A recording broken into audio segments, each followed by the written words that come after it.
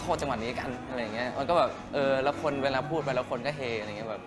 เออเขาอยากทำโดนทำโทษเขาอยากโดนทำโทษอะไรเงี้ยมันเหมือนกับเป็นกิมมิคที่เราเราไว้เล่นด้วยกันอะไรเงี้ย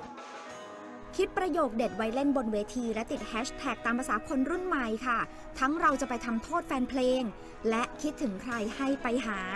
นี่แหละค่ะลูกเล่นของแม็กซ์เจนมานะ และสมาชิกวงที่ได้ใจแฟนคลับไปเต็มๆ จงเดินเข้าป่า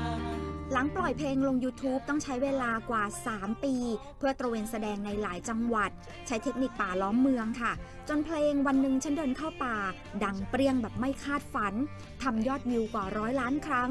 ยิ่งมีกระแสข่าวอนุรักษ์สัตว์ป่าพอดี จึงทำให้เพลงนี้ถูกพูดถึงมากขึ้นอีก เพราะถึงเนื้อหาจะเกี่ยวกับความรัก แต่การเปรียบเปยเจ็บๆว่าเจอเสือในป่า ก็ยังไม่น่ากลัวเท่าคนใจร้าย ดันไปถูกใจนักฟัง ความสำเร็จที่ต้องรอเวลายังมาจากวิธีการทำงาน ที่สะท้อนตัวตน และการวิเคราะห์การตลาดในแบบฉบับนักร้องรุ่นใหม่ค่ะ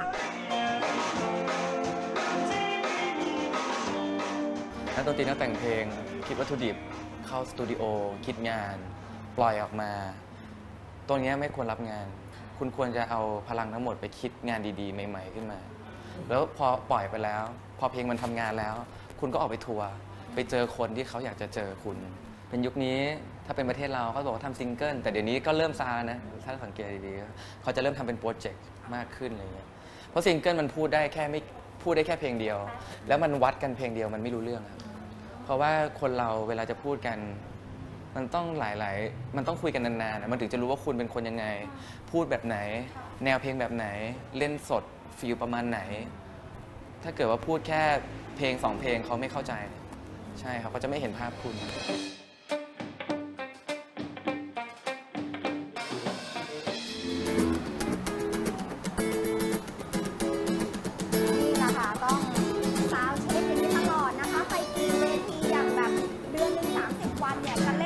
20 เวทีอยู่แล้วนะคะยิ่งตอนนี้งานชุกมาก เพราะฉะนั้นจะไม่พลาดเลย เรื่องเล็กๆน้อยๆเนี่ยคุณแม็กซ์จะมาดูเองหมดเลยถูกไหมคะ ครับผม นี่ก็กีนี่กีตาร์ตัวโปรดด้วย อ่าครับ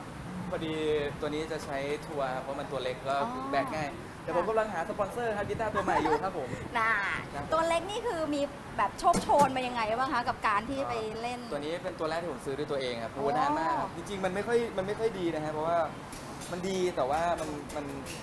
มันมันเก่ามากแล้ว แล้วผมก็สมบุกสมบัติมากแตกหมดแล้ว ผมก็เลยเอาพวกนี้มาปิดอ๋อ ไว้นี่ไม่ใช่เป็นสไตล์แต่ว่าแตก แตกครับแตก แค่มีกีตาร์ตัวเดียวก็นับเป็นความสุขที่ติดตัวไปได้ทุกทุกที่ เพราะแม็กซ์เห็นภาพตัวเองชัดเจนบนเส้นทางดนตรีค่ะ ถึงกับออกจากงานประจำมาเดินตามฝัน มีภาพจำจากเวทีประกวด The Voice ซีซั่นแรก กับแนวเพลงสากลทางถนัด แล้วจึงทยอยสร้างผลงาน เพราะรักที่จะร้องและแต่งเพลงเอง ได้แรงบันดาลใจใกล้ตัวจากเรื่องของภาษาที่สละสลวยลึกซึ้งนะคะ ทั้งจากเพลงเพื่อชีวิตและเพลงลูกทุ่ง แล้วค่อยๆ ปรับให้เข้าทางฟังง่ายซึ่งในเวลานี้นะคะ ชื่อเสียงก็มาถึงตัวทำให้ต้องตั้งรับปรับชีวิตกันใหม่เยอะเหมือนกันค่ะ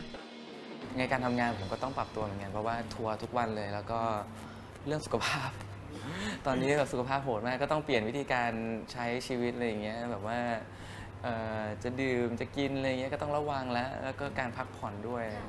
ได้นอนเวลากี่ชั่วโมงก็แล้วแต่ครับมันเวียงเวียงๆอยู่นะสี่ห้าชั่วโมง